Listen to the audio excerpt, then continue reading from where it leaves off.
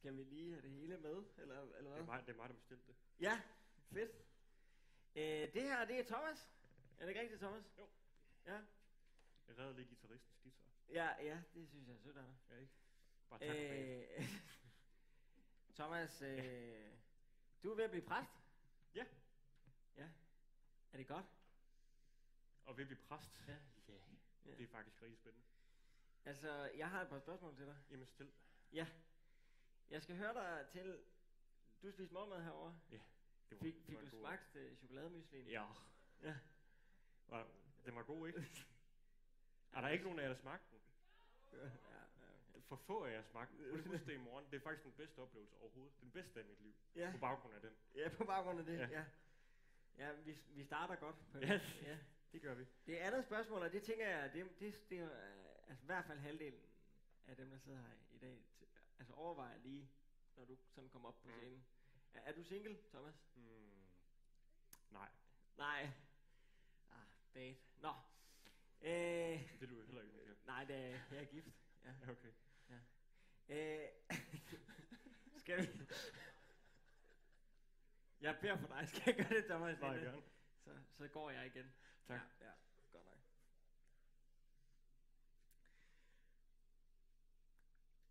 Far, jeg beder dig om, at du vil komme og være her nu. Jeg beder dig om, at du vil øh, tale gennem Thomas. Far, jeg beder dig om, at vi vil få et, øh, et rigtig dejligt øh, møde med dig nu. Og jeg beder dig om, at du vil hjælpe os til at holde os vågne og friske. Ja, hjælp os til at, øh, at have fokus på dig. Far, jeg beder dig om, at du vil udruste Thomas med din kraft og med din styrke. Amen. Tak for det, Michael. Godmorgen. Det er virkelig dejligt at se jer. Det er dejligt at være her. Nu skal jeg få det her til at virke. Det er dejligt at stå heroppe. Jeg har den bedste udsigt lige nu på hele event. Cirka 700 mennesker foran mig, og det er ikke 700 hvilken som helst mennesker. Det er virkelig dejligt at stå her foran jer og se så stor en flok onde mennesker, som hver og en er noget helt særligt. Vi hørte i går om, at Søren han sagde, I er simpelthen, I er, I er unikt skabte. I er fantastiske.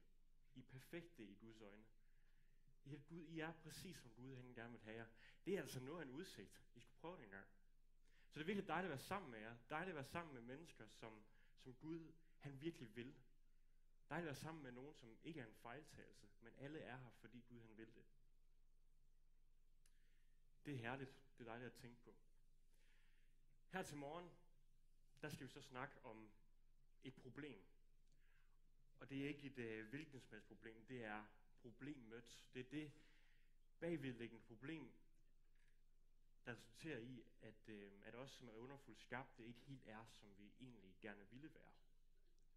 Og måske ikke er, som vi helt burde være. Fordi der er, vi er kommet på afveje. Vi følger ikke helt det livets vejs forløb, som er blevet lagt til rette for os. Og hvad er det her problem? Når nu Søren snakker om i går, at vi er underfuldt skarpe, vi er perfekte, og så videre, så videre, så videre. Hvad er så problemet? Er det ikke fint nok? Fordi som han også sagde, der er jo ingen af os, der, der kun er resultatet af Adam og Evas indavl. Nej, Gud, han har formet os. Ja, der står endda i Bibelen, at før verden blev skabt, der tænkte han på mig. Der tænkte han på jer. Og på et eller andet tidspunkt, der havde han sådan en ubestemmelig klump Thomas i sine hænder, og så formede han sirligt, hvordan han gerne ville have mig. Lige præcis, som han gerne ville have mig. Og da han var færdig, tænkte han, hmm, det er jeg godt tilfreds med det her. Så hvad er det problemet er? Hvad er det lige problemet er?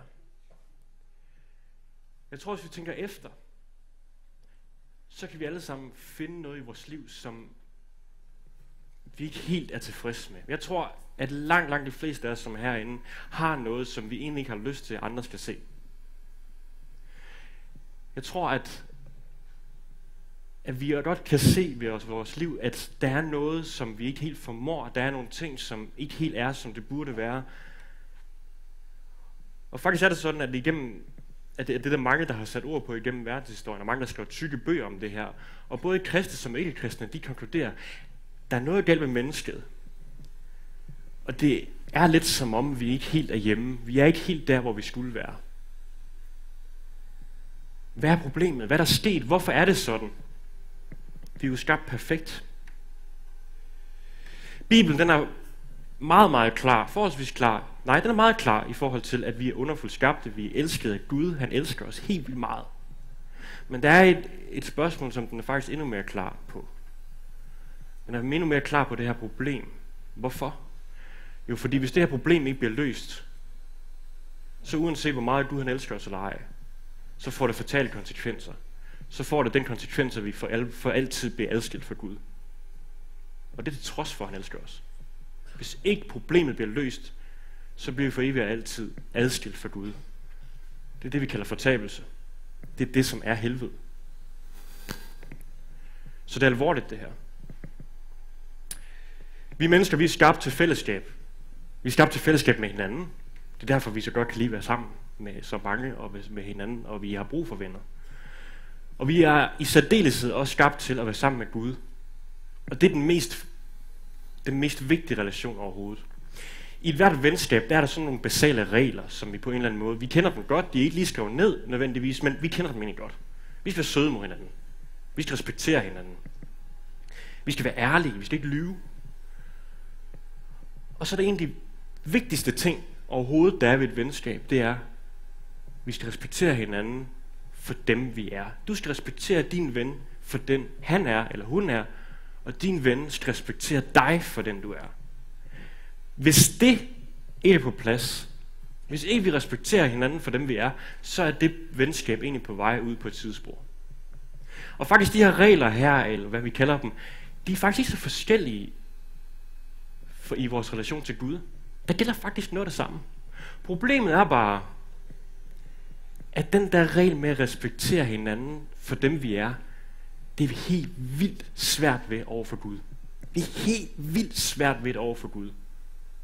Det viser verdenshistorien, og ikke mindst den bibelske historie, at det der med at respektere Gud for den, han er, det er vi helt vildt svært ved.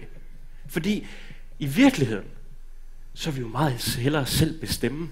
Vi vil i virkeligheden selv bestemme over vores liv, selv bestemme, hvor vi skal hen, selv bestemme, hvad vi skal lave. Og når ja, Gud må da gerne sådan have medbestemmelse.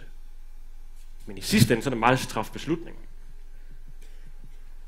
Og det er ikke respektere, hvem Gud han er, fordi Gud, hvis vi skal respektere, hvem Gud han er, så er vi også nødt til at anerkende ham som universets skaber, universets herre, og vi er nødt til at anerkende, at hvis han er herre, hvis han er konge, så er jeg det ikke. Og så bliver jeg nødt til at sige, okay Gud, du alene bestemmer.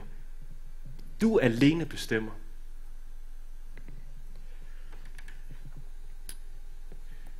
Jeg har jeres bibler med, og det har jeg, tror, det håber jeg, det fleste af jer har.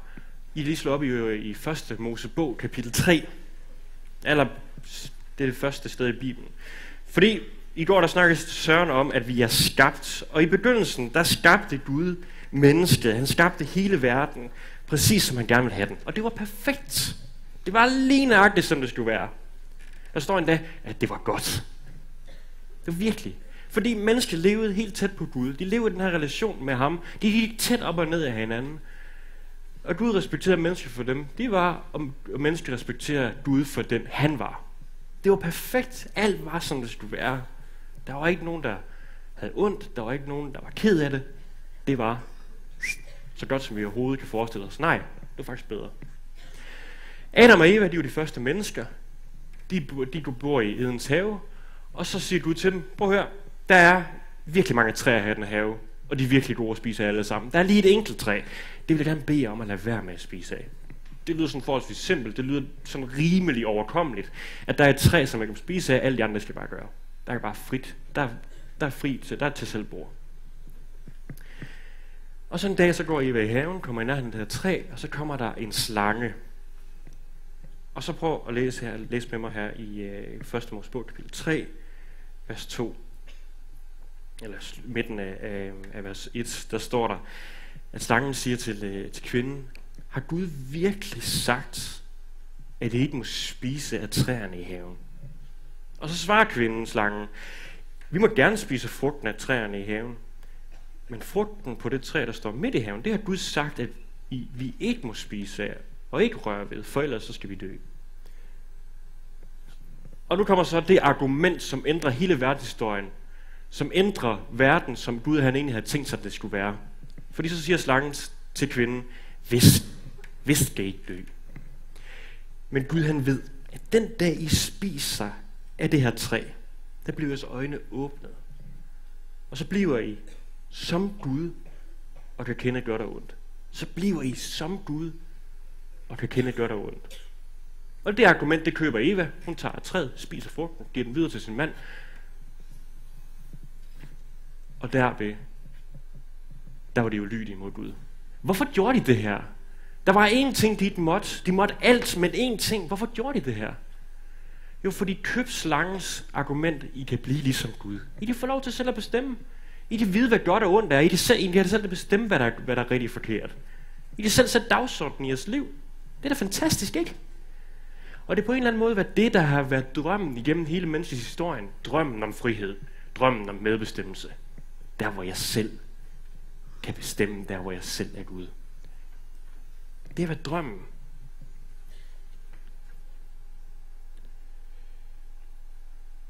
Den her begivenhed, den fik alvorlig betydning.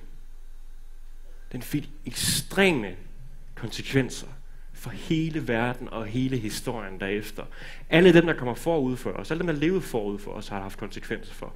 Og alle dem, der kommer til at leve efter os indtil jordens undergang, der har det konsekvenser for. Prøv at slå op i Romerbrevet, kapitel 1. Der var I var lige for lidt siden. Fordi der, der beskriver Paulus, hvorfor det her det er et kæmpe problem. Romerbrevet er det nye testamente. Romerbrevet kapitel 1. Og mens jeg lige finder det, så kan jeg fortælle, at det her det er nogle, nogle vers, som godt kan virke lidt voldsomme i det. Paulus lægger ikke fingre imellem her. Han er voldsom. Han siger det, som det er. Han siger sandheden. Og så forklarer han, hvad det her grundlæggende problem, som mennesker er kommet ud for, hvad det i grunden er.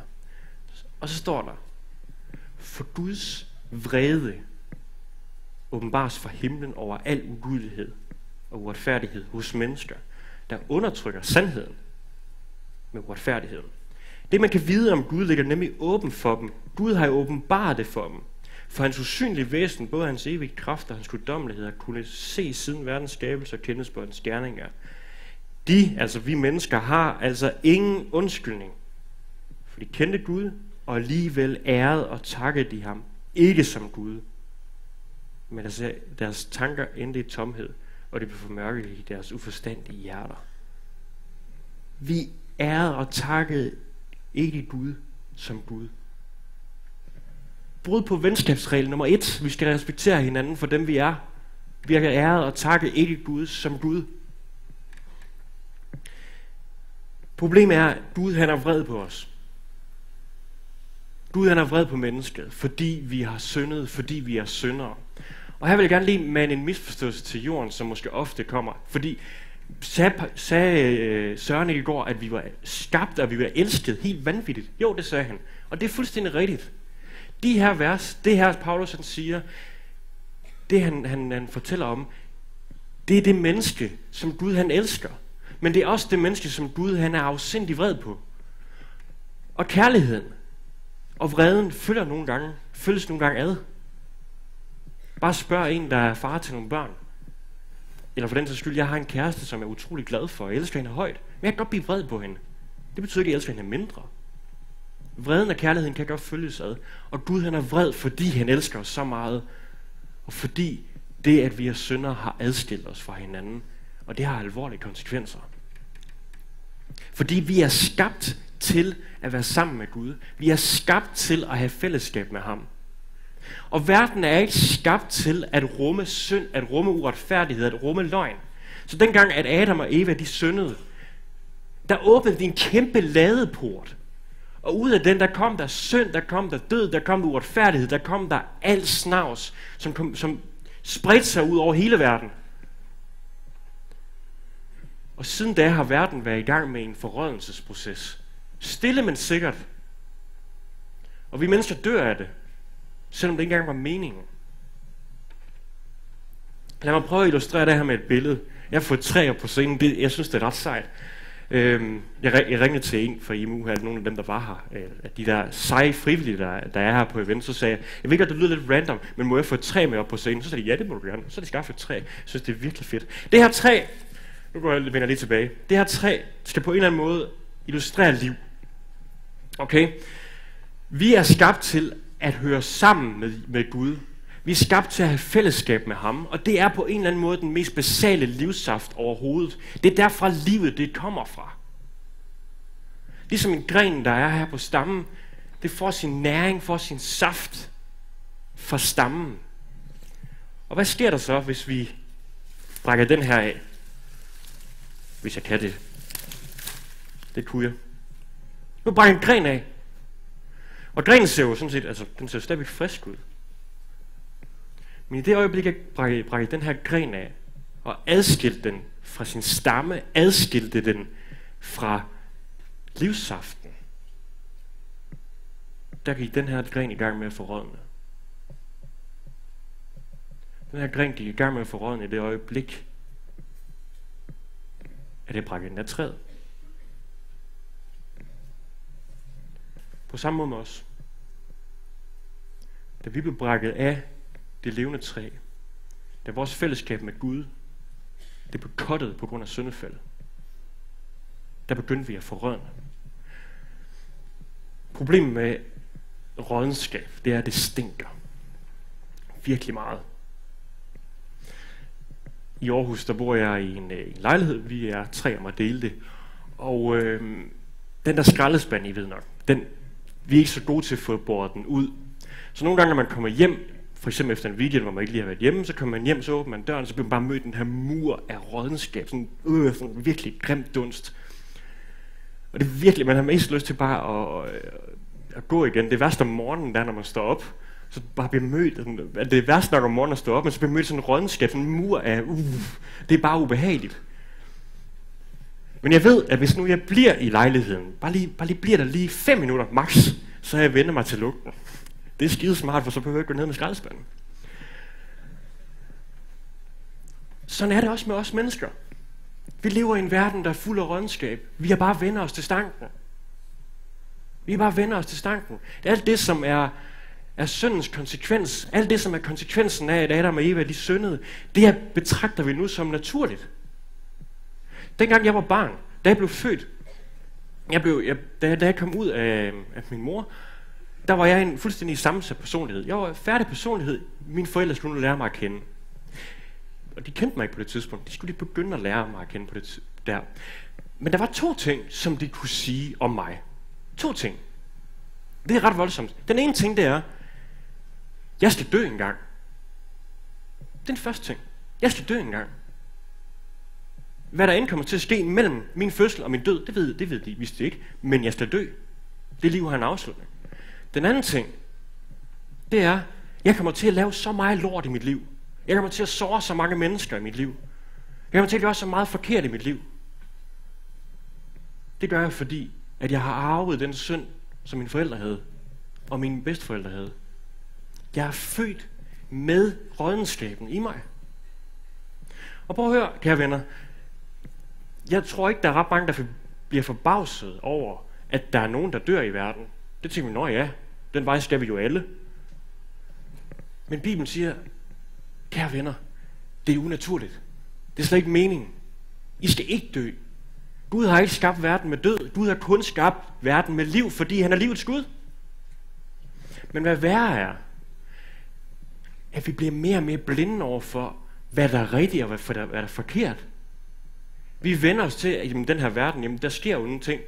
Ja, det er naturligt. Nej, siger Bibelen. Det er ikke naturligt. Det er ikke, som det burde være. Verden er god. Eller verden burde være god. Verden er skabt god. Men på grund af syndefaldet, fordi mennesket er blevet brækket af deres livstræ, blevet brækket af deres mest livgivende relation overhovedet, så er alt det her kommet ind. Verden begynder at frode, når vi vender os til stanken. Det er vores virkelighed. Vi er ikke hjemme her.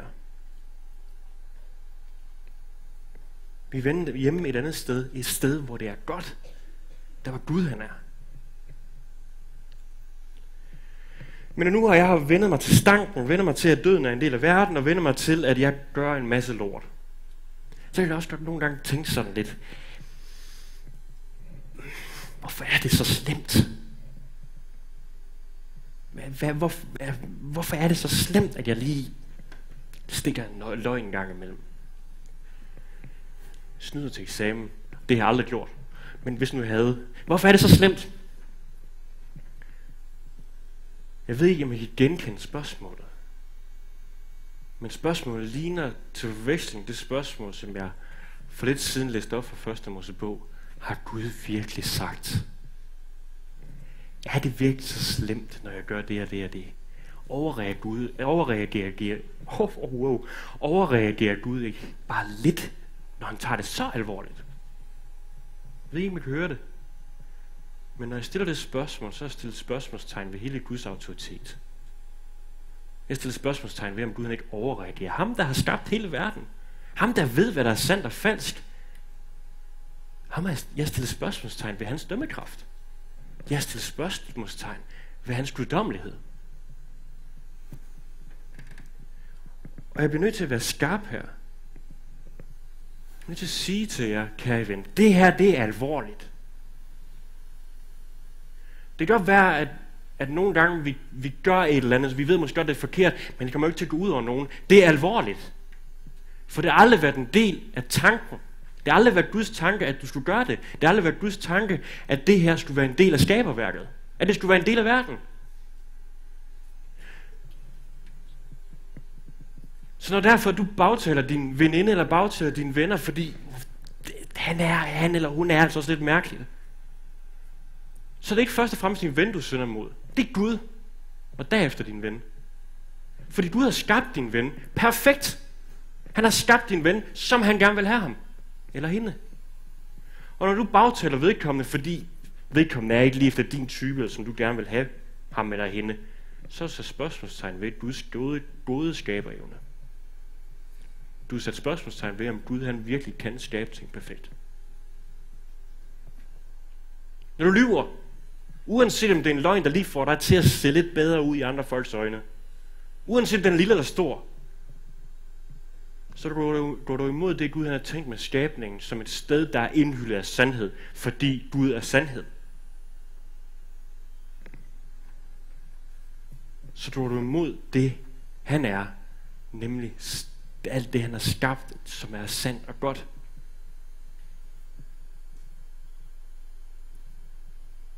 Og når du går i seng med din kæreste, så synder du mod Gud. Det kan godt være, at det ikke umiddelbart ser ud som om, men der er jo ikke andre, det går ud over. Nej, men det, du synder mod Gud, fordi du går oprør mod hans skaberordning. Du gør oprør mod hans skaberordning, hvor han netop har indrammet dit sexliv til at være ægteskabet. Han har gjort det for at beskytte dig.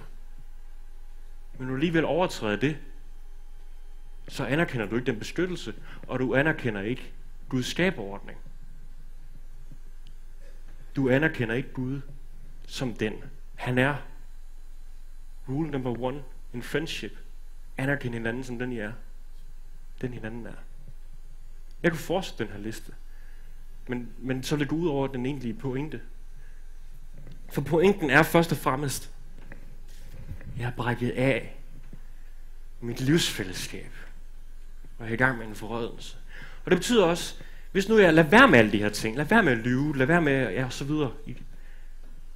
Jamen, det vil ikke ændre ved min tilstand som afbrækket.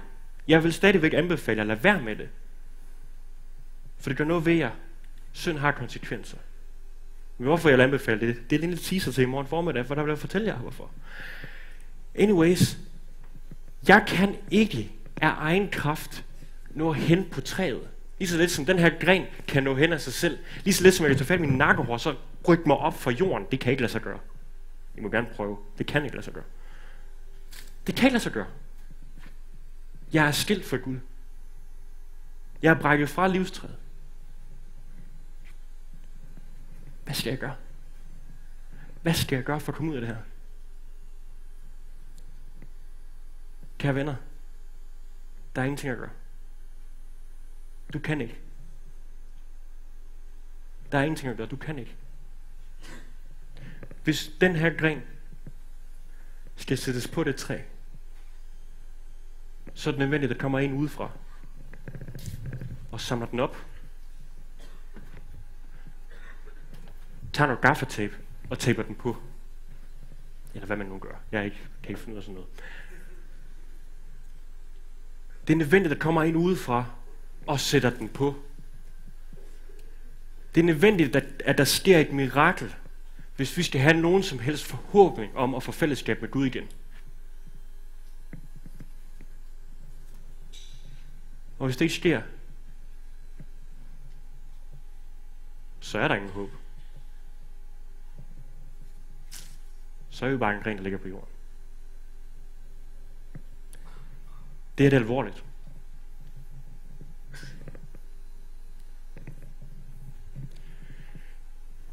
Kan I vente? Jeg ved godt, der er mange af jer, der sidder hernede og har hørt den her tale før. Og nogle af jer, I ved udmærket godt, hvad jeg snakker om. I ved godt, jeg har ret. I kan godt se, I er synder. I kan godt se, at der er nogle ting i jeres liv, som I ikke er stolte af. Nogle af jer har kæmpet med det. Lang tid. Vi har forsøgt igen og igen at opleve, I fejlet. Der har jeg lyst til at citere. Det mirakel, der skulle til, for at den her gren kunne komme op, det mirakel, der skulle til, for at dit fællesskab kunne blive genetableret med Gud, det er sket. Det er sket. Det mirakel, det hedder Jesus. Så derfor vil jeg gerne sige til dig, kæmper du med din synd? Kan du se din synd i dig? Så kom til Jesus med det. Gå til ham med din synd. Og lad ham Nå, lad ham sætte dig fast på træet igen. Lad ham genetablere den, det fællesskab her og nu med Gud. Din livssaft. Lad, dig, lad det få lov til at flyde ind i dine årer igen. For så slipper du levende ud af det her liv. Det er den eneste vej. Du kan ikke slippe levende ud af det her liv, med mindre at du går til Jesus med det. Med din søn. Men jeg ved også godt, at der sidder også nogen herinde, I har hørt den her tale før. Nogle af jer vil sige, jamen det er også rigtigt. Nogle af jer vil sige, nej, det er ikke rigtigt. Og hvis det var, så er jeg også ligeglad. Ens rager det er ingenting. Egentlig så er jeg ligeglad. For jeg har egentlig mest lyst til at være selvbestemt i mit, herre, i mit, i mit eget liv, og Gud skal ikke komme og bestemme noget over mig. Og så slemt er det altså heller ikke. Bibelen overdriver. Til dig, der har det sådan, der ønsker jeg inderligt, at Gud han vil møde dig. Og vise dig, at det her, det er alvor. Det er ikke for sjov. Og hvis nu du sidder og tænker dernede nu, kan vide, om jeg egentlig synes, det her er alvorligt. Lyt til dig selv. Allerede der, jo, du, du synes, det er alvorligt. Gå til Jesus med det. Og det, mine damer og herrer, det er skillevejen. Det er det der temaet. Det er skillevejen. Og det er den skillevej, vi er sat overfor. Hvad gør I med jeres synd? Hvad gør I med det, den relation, som er blevet brudt siden syndefaldet? Forsøg selv at fikse den ved at være her i jeres eget liv, eller er I ligeglade? Eller går I til Jesus med den? Går I til Jesus med jeres synd? Det er skillevejen. Og det er mit spørgsmål til dig.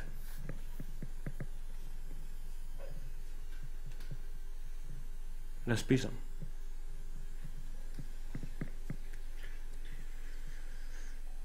Himmelske Far, gode Gud, vi bekender for dig, at vi er syndere, og vi ikke selv kan, kan komme i nærheden af dig. Vi har brug for, at du kommer og gør det for os. Du, vi har brug for, at du sætter os tilbage på træet, så vi kan få livsaften, så forrødelsen stopper. Herre Gud, jeg beder for alle dem, som er herinde og som kæmper med synd. Jeg beder dig om, at du vil komme til dem og vise dem, at du er miraklet. Herre Gud, jeg beder også for alle dem, som er ligeglade. Vil du vise dem, at du elsker dem ekstremt højt, og det er det alvorligt, og du ønsker så meget at være sammen med dem. Herre, her er vi. Tak fordi, at du lover, at den, der kommer til dig, vil ingen støde bort. Vil du ikke støde bort. I dit hellige navn, navn. Amen.